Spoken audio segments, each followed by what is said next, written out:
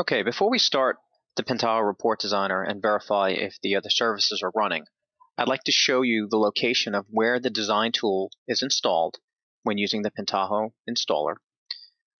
Whatever directory you choose, it will create a design tools folder and then install the appropriate design tools. There is a report-designer folder, and this is the location where the report-designer.bat is. By the time you view this video and the product is GA or generally available, most likely the report-designer.exe will be replaced with only the report-designer.bat.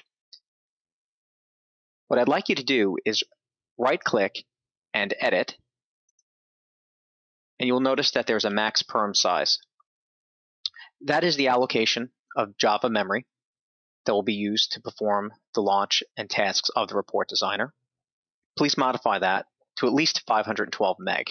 The more memory available, the better the performance of the report designer will be, and it will reduce any of the chances of receiving out of memory errors. So as a precaution, you might want to increase the memory size.